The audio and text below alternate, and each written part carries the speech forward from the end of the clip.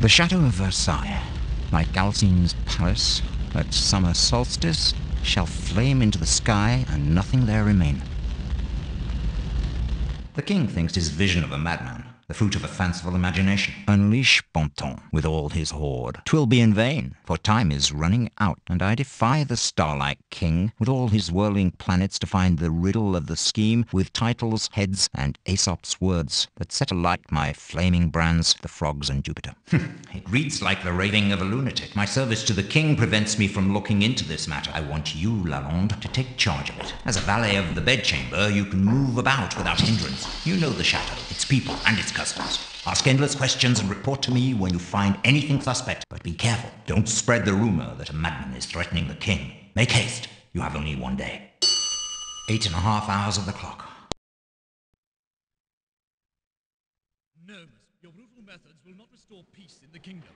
Rest assured, the king has spoken of sending Monsieur de Duras to the Duke de la Force. I assure you he will not obtain the Duke's convert. The king's rising from bed ceremony ended with his ablutions. Before the eyes of the courtiers admitted among the first entrants, the barber groomed his majesty before putting on his shawl.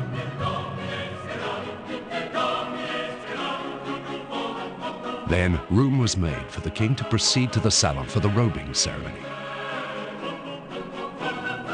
Authorized courtiers joined the company while his majesty partook of a light collation. Each hoped for a glance from the king, inquired after his health, and listened to or spread the rumors of the day. The king, exposed to the public, performed his usual role. He was shaved, washed, and then dressed.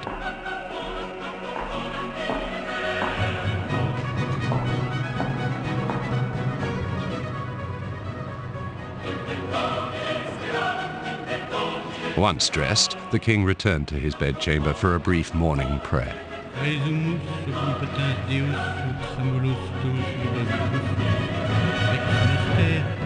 Once he had said his prayers, the king, followed by his ministers, went to the council chamber where matters concerning the kingdom were discussed.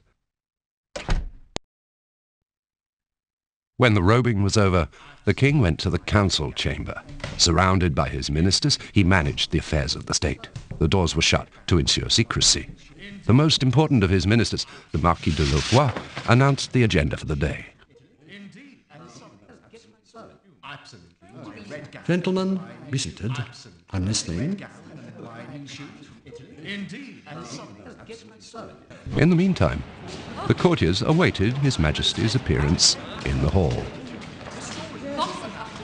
Gentlemen, the king! Your Majesty. It is noon. The king goes to mass. The court form a train behind him. His Majesty, accompanied by princes and princesses, crosses the grand apartment on his way to the chapel. If your majesty would be so kind as to look at this petition, I beseech your majesty on behalf of my nephew, who is the victim of a terrible trial. We shall see, monsieur. We shall see.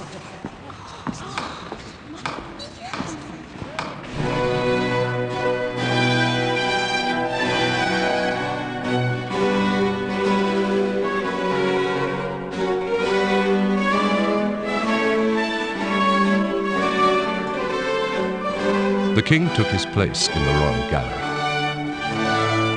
And the princes and princesses ranked behind him in order of hierarchical precedence. King forbade talking and recommended devotion.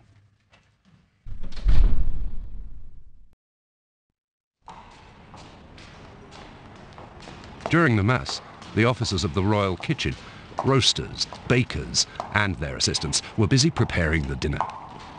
The food not eaten by the sovereign, whose appetite was legendary, would feed others, and ordinary people did not disdain to purchase leftovers from the kitchens. The public dinner was a spectacle that all the courtiers hastened to attend. Gentlemen, the king's meat!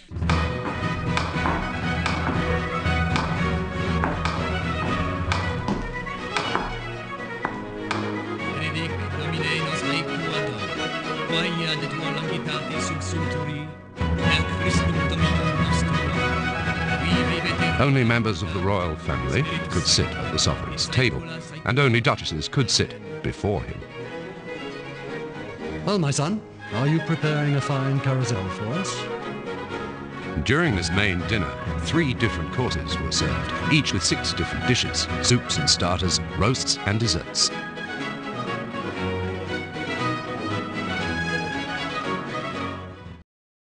The dinner was followed by fruit. Then the king devoted several hours to administering his kingdom. At this period, he liked to work in the apartment of the Marquise de Maintenon, sometimes in company of his ministers. In the apartment of she whom he had secretly married, he found the peace and serenity that was necessary for the accomplishment of his work. For three hours, the king examined dossiers in detail. For the courtiers, this was one of the rare moments of the day when they didn't follow like shadows the sovereign's every movement. Some played cards with a passion.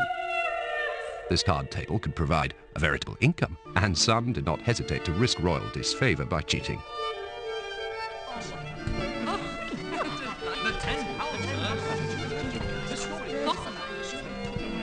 Others were devoted to games of skill, like billiards or trou madame, but brilliant conversation was one of the most highly appreciated pleasures at Versailles.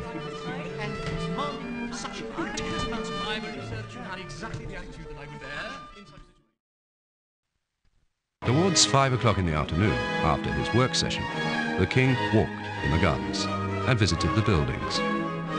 He joined the courtiers who awaited him in the marble courtyard. Only the privileged were allowed to join in the king's cortege.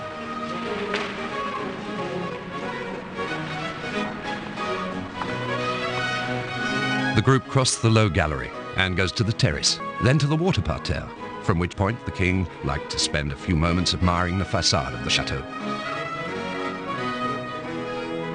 From the orangery to the colonnade, the king followed in detail the progression of the different works in progress.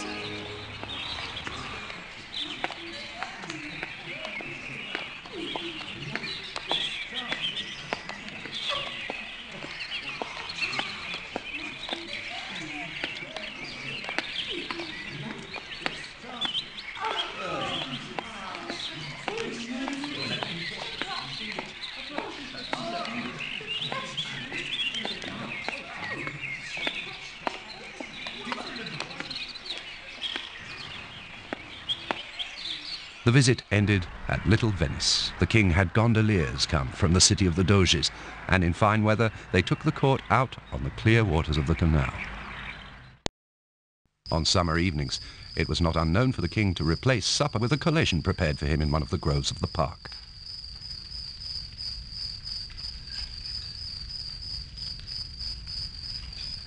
Then, when night had fallen, all returned to the chateau for the king's going to bed.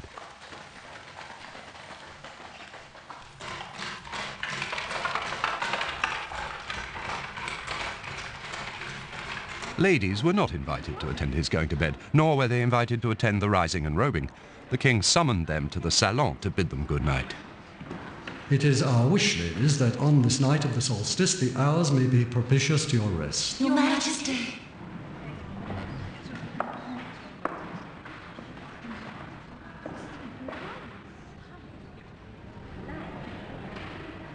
Then the going to bed ceremony could really begin.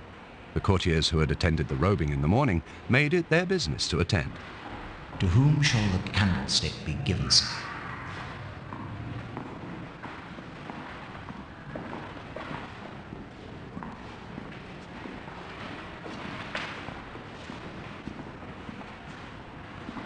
The king transformed each of his everyday actions into acts of magnanimity. The right to hold the candlestick at his going to bed was given to persons of distinction, often visiting foreigners, who thus acquired the right to accompany the king to his actual bedchamber. But on this evening, The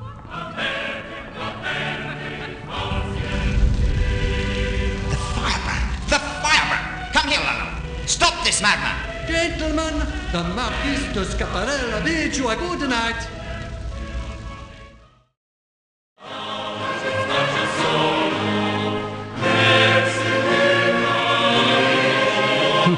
possibly accepting, even in a dream, that the maddest of the mad should destroy this shadow. Play again. It's now or never.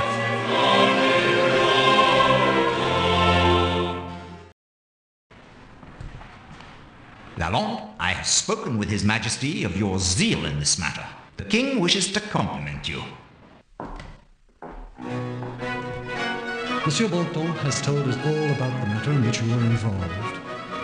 I feel no anger on seeing the end of this day, which was extraordinary that it should be placed under the sign of the moon rather than that of the sun. Nevertheless, monsieur, you well deserve to be, wherever you go, the ambassador of our time.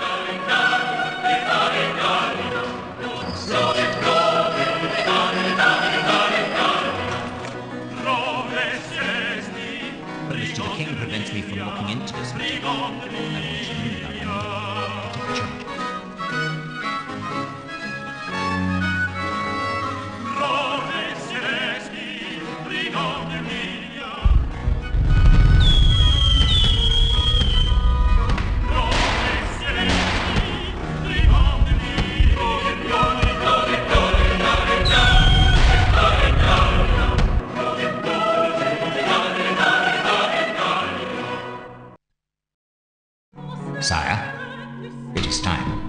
As soon as the king awakens, Daquin, the first doctor, inquires after his health. Did your majesty sleep well? Was your majesty too hot? Would his majesty like to be rubbed down? Thank you, de Canon. Your majesty has been in perfect health these last two months. While Bontemps washed the king's hands, the family entrance arrived, as they did every morning. Monsieur, the king's brother, Monseigneur, the Dauphin, and the Duke of Maine came to witness the king. Well, my son, what time did you set out to hunt the wolf this morning?